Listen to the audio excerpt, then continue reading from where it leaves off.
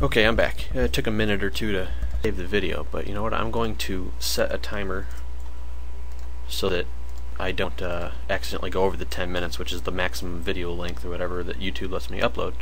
So, let's start off here with this editor. You know what? I'm going to need a couple functions. Well, you know what? Let's see, start off. Um, oh, for those of you who don't know, um, I'm using VB in the SDI development, which is under Tools, Options, Advanced, SDI development. That allows me to just simply use variables without declaring them, all, any local variables, and it doesn't make me declare the variables, so it's a time saver. Um, for those of you who have never used that, I highly recommend it. Um, you know what, actually, I think by default all of the uh, tiles should be those little um, pellets. Let's see, 0, 1. So tile A is 1, tile B is 0. This the actual decoration for that one. And then call draw screen, which I don't have yet, haven't made it. procedure, draw screen. I'm just going to have it loop through calling draw tile and passing it which tile I want. It's just a habit. I mean, I don't know if it'll apply to this, if this game requires that um, kind of thing, because it's all going to fit on the screen at once. There's no scrolling, but I'll do it anyways. Um, let's see. Picture on the paint picture, picture 2.image is where I'm pulling it from. I'm going to be putting it at z minus 1 times 30, because that's the width of the tile w minus 1 times 30, it's width 30 and 30, taking it from tile A time, times 30 and tile B is the other coordinate 30 and 30. Oops, I should have said call at the front. Okay.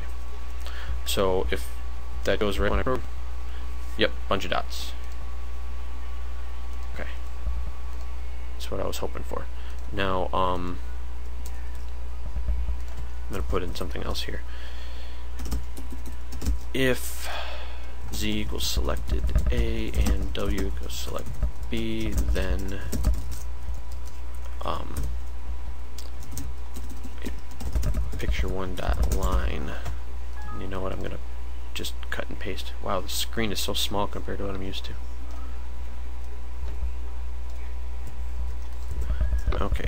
The first coordinate I'm pulling from, and second coordinate. Um, if you're doing a line, you do comma comma b at the end. It makes it a box instead. This will just be going to just z and w. So if I did this right, select b zero zero doesn't it's off the screen. Uh, will show with a green um, line around it. Well, I guess in order to do that, I have to change the fore color here to green. Yep. Well, I should select uh, set selected A and selected B. But you know, I'm going to do that under the mouse down because mouse down passes you X and Y. See?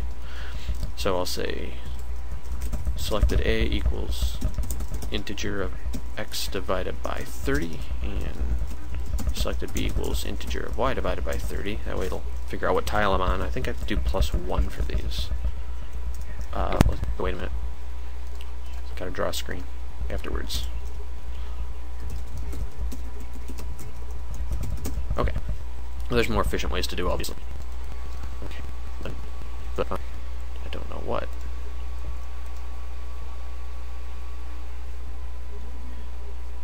Let's see.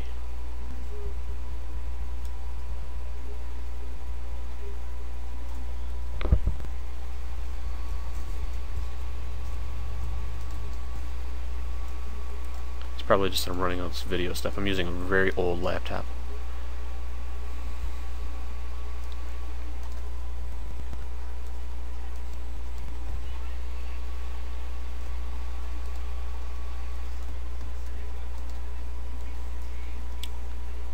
Uh, let's see, where am I at? Only three minutes, that's not too bad.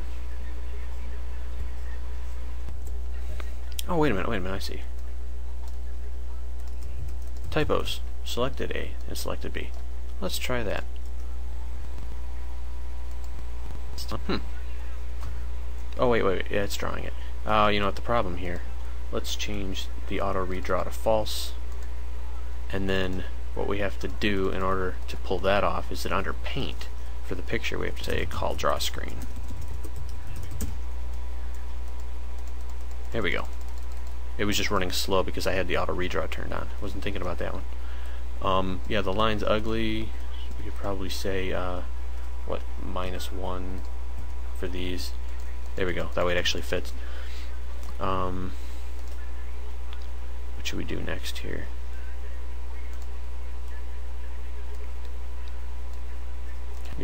make this thing full screen here a minute. Alright, I am going to make this visible just for the sake of doing the editor. Um, and when, I, when I click, no, no, not click, here we go, mouse down on this thing, what I want to do is say, uh, what, temp A equals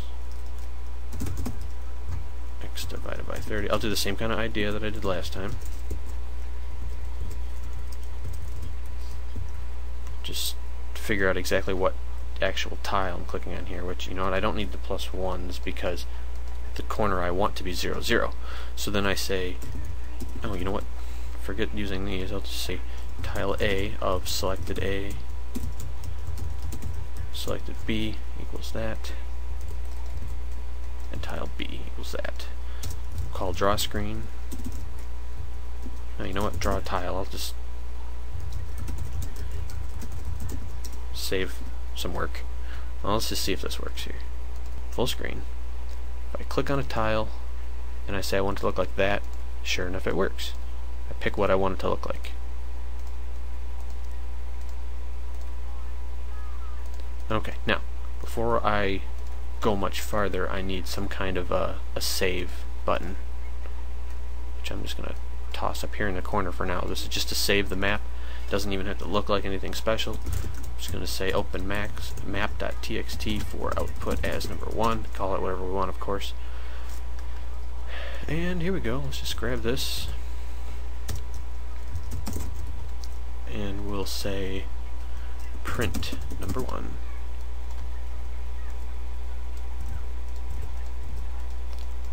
So we'll just loop through each of these values and dump them into a text file, and then that's it. Um, that sound means I need to save the video. One second.